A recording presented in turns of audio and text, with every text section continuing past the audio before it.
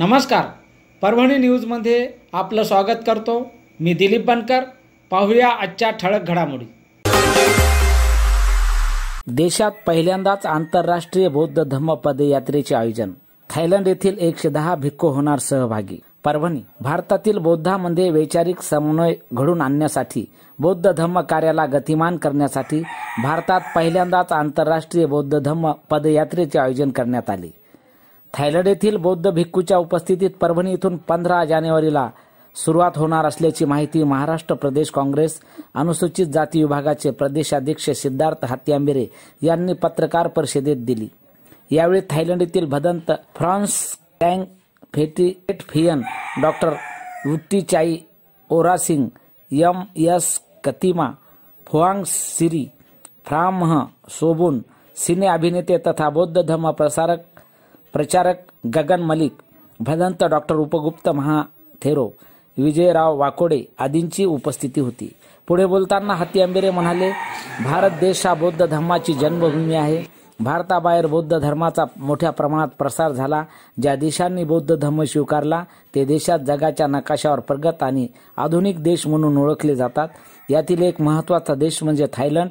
Thailand व भारतातील बौद्धामध्ये वैचारिक समन्वय घडून आणण्यासाठी व भारतातील बौद्ध धर्म कार्य गतिमान करण्यासाठी थायलंड येथे जाऊन भिक्खूंना भिक्खू संघांना भारतात धम्म पदयात्रेत सहभागी होण्याची विनंती केली. या विनंतीवरून पंधरा जानेवारी ते पंधरा फेब्रुवारी दोन हजार तेवीस दरम्यान आंतरराष्ट्रीय बौद्ध धम्म पदयात्रेचे आयोजन करण्यात आले. ही पदयात्रा पंधरा जानेवारी रोजी परभणी येथून डॉक्टर बाबासाहेब आंबेडकर यांच्या पुतळ्यात अभिवादन करून सुरुवात करण्यात येणार आहे. परभणी जालना औरंगाबाद नाशिक कल्याण ठाणे मार्गे चैत्यभूमी दादर येथे पंधरा फेब्रुवारीला समारोप होणार आहे. या पदयात्रेत थायलंड येथील समेत एकशे दहा बौद्ध भिक्खू सहभागी होणार असल्याचे हाती आंबेरे यांनी सांगितले. यावेळी सिने अभिनेते गगन मलिक म्हणाले की शांती करुणा मैत्री संदेशाबरोबरच बौद्ध धर्माविषयी जनजागृती करणे हा पदयात्रेचा उद्देश असून या पदयात्रेत थायलंड कंबोडिया व्हिएतनाम या देशातील बौद्ध भिक्खू देखील सहभागी होणार असल्याचे ते म्हणाले. या प्रसंगी समन्वय समितीचे doctor Prakash Dake doctor Bhagwat Dhutmal doctor Siddharth Bhalerao Sanjay doctor Sanjay Jadhav doctor Bhimrao Khade भाग भागवत जगताप अमोल धावड धाडवे पंकज खेडकर प्राध्यापक सुनील तुरुकमाने प्राध्यापक राजेश रणखाम अविनाश मालसमिंदर शशिकांत हातीअंबिरे प्रदीप जोंधळे उत्तम गायकवाड आदींची उपस्थिती होती.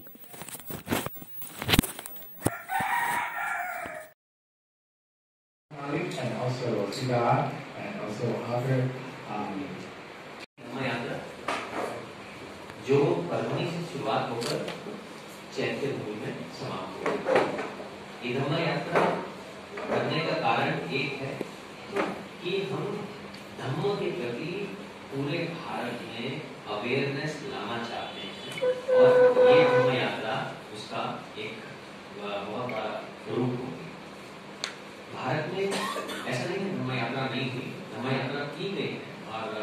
भिक्षुओं के द्वारा भी की गई है बाहर के द्वारा भी की गई है, लेकिन वो ज़्यादातर जो पहाड़ी इलाके हैं, वहाँ ज़्यादा किया गया। कभी सिटीज़ के बीच में इतनी ज़्यादा धम्म यात्रा इतनी बड़ी धम्म यात्रा निकली गई है। और ये अपने आप में एक अलग सी एक धम्म यात्रा होगी, क्योंकि हम एक्सपेक्ट कर रहे हैं कि इसमें बहुत सारे लोग भारत से नहीं भारत के बाहर से भी, दूसरे बौद्ध राष्ट्रों से भी हमारे साथ जुड़ने वाले हैं, उनसे हमारी बातचीत चल रही है। जब ये शुरुआत करेंगे तो हम कोशिश करेंगे कि जितने भी बौद्ध राष्ट्र के और भिक्षु हैं, बड़े वरिष्ठ भिक्षु हैं, वो भी इस धर्म यात्रा को ज्वाइन करें। चाहे वो पूरे समय तक ना कर पाए, तब भी चलेगा, लेकिन एक दिन के लिए, दो दिन के लिए अपना योगदान उसमें देने के लिए ये धर्म यात्रा वो करें। और उसकी तैयारियाँ हो चुकी है, करीबन इकसठ भिक्षु। ग्यारह भिक्षुनियाँ और उसके बाद कुछ जो है उनके डिवोटीज जो उनका ख्याल रखने के लिए वो साथ में रहेंगे।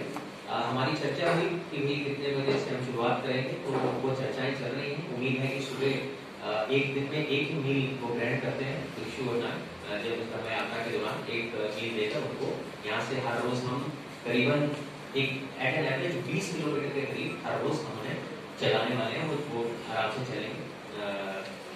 सारे लोगों को आपके द्वारा मैं संदेश देना चाहता हूँ कि जितने भी स्पेशली बुद्धिस्ट है नॉन बुद्धिस्ट है, वो इस धम्म यात्रा का हिस्सा बने, किसी न किसी रूप में। क्योंकि ये समय है कि जितने भी पूजनीय बंदे थाईलैंड से आने वाले हैं, उन्हें अपनी सर्विसेज़ देने का, उनका स्वागत करने का और धर्म के प्रति अवेयरनेस कराने का एक बहुत ही सुनहरी मौका है सबके पास। एक धर्म क्रांति लाने का मौका है। जिसके लिए भारत के संघ को भी हम अनुरोध करेंगे। आज भक्ति भी हमारे साथ हैं और कि वो भी इस धर्म यात्रा का अच्छे से सपोर्ट करें। ये धम्म यात्रा अजाम कौन हम बोलते हैं? इनकी पहली धम्म यात्रा नहीं है। इनकी ये काफ़ी सारी धम्म यात्राएँ पूरे वर्ल्ड में कर चुके हैं।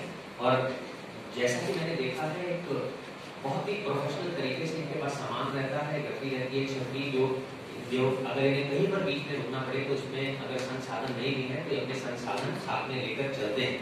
लेकिन सिद्धार्थ भक्ति मेरे जी की धर्म के प्रति से कहते हैं आदर सम्मान इतना है कि वो जितनी भी उनको मैक्सिमम सुविधाएँ प्रदान कर सकते हैं, उतनी प्रदान करने की कोशिश करेंगे। हम सब मिलकर उस चीज़ का प्रयास कर रहे हैं, चाहे वो एंबुलेंस हो चाहे वो रनिंग किचन हो, चाहे वो बाथरूम हो, चाहे उनकी रहने की व्यवस्था हो, या कोई थाईलैंड के स्नैक्स हो, या इंडिया के खाना हो मिक्स करके, वो सारी छोटी छोटी जो चीज़ें हैं, उन सुविधाओं का हम पूरा इस धर्म यात्रा में ध्यान रखने वाले हैं।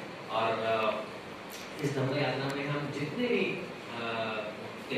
मानने वाले लोग हैं, उनको भी इसमें इनवाइट करेंगे। और मैं उम्मीद करता हूँ कि इस धर्म यात्रा से एक बहुत बड़ा संदेश पूरे भारत में जाएगा क्योंकि बात केवल परभनी तक की नहीं है, बात चैत्य मंदिर तक की है।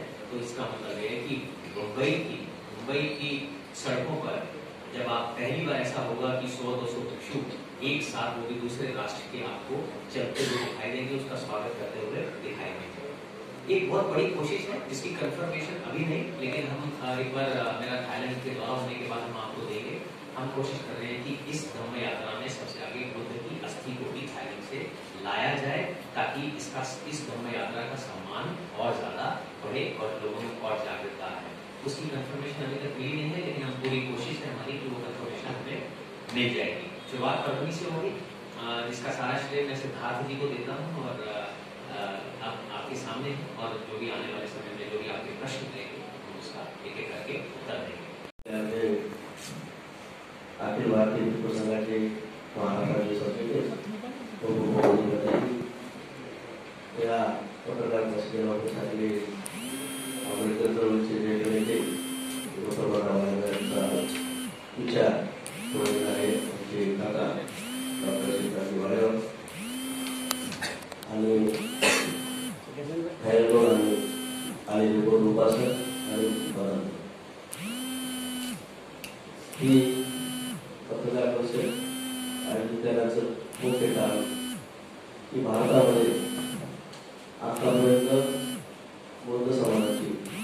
कधीही नाही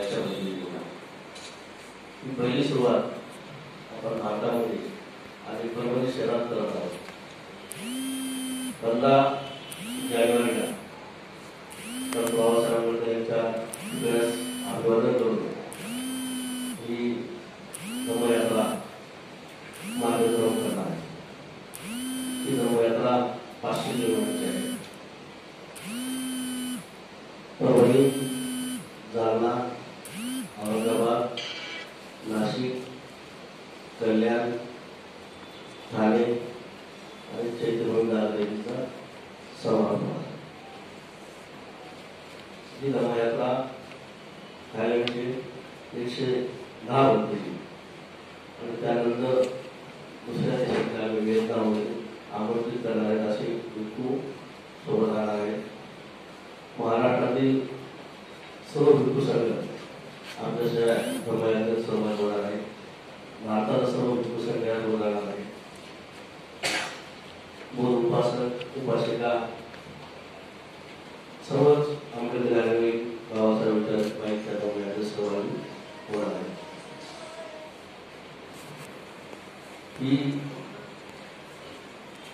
धर्मयात्रा मी अगोदर सांगितले की तुमच्या सहकार्याशिवाय पूर्ण होणार नाही. आणि मला वाटतंय की पहिली भारतामध्ये धर्मयात्रा आहे आणि परभणी शहरातून आपल्या सुरुवात आहे आपल्या जिल्ह्यातून हा आपल्या जिल्ह्याचा खरोखरच अनुभवाच्या जिल्ह्यासाठी गोष्ट आहे या परभणीचं नाव आपल्या थायलंड आणि बाकी पूर्ण नाटकामध्ये जाणार आहे.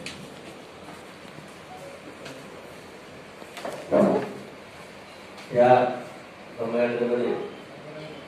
जे पाचशे किलोमीटर चालणार आहेत दोन उपासक किंवा ज्यांची इच्छा असेल एक फॉर्म देणार आहोत त्यांची सुद्धा नोंदणी आहोत जे पाचशे किलोमीटरचे नवयातले असतील गर्दीची व्यतिरिक्त त्यांची राहण्याची खाण्याची सर्व व्यवस्था आमची समिती करणार जे जिल्ह्याची पदयात्री नवयात्री असतील यासोबत ते वेगळे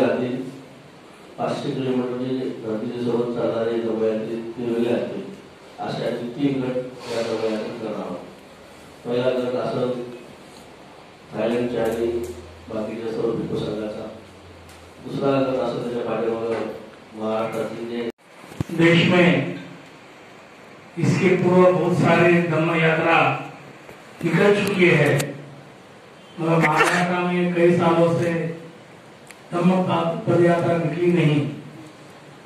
उसका जो इनिशिएशन है, हमारे मित्र, हमारे भाई सिद्धार्थ हत्यारे देश में प्रसिद्ध ऐसे गुरु गुप्त जी, गगन मलिक जी, इन्होंने लिया है।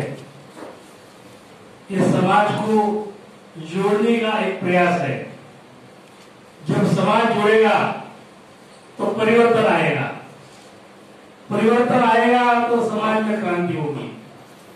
यह अंतिम उद्देश्य की बात है ये उसका इनिशिएशन है।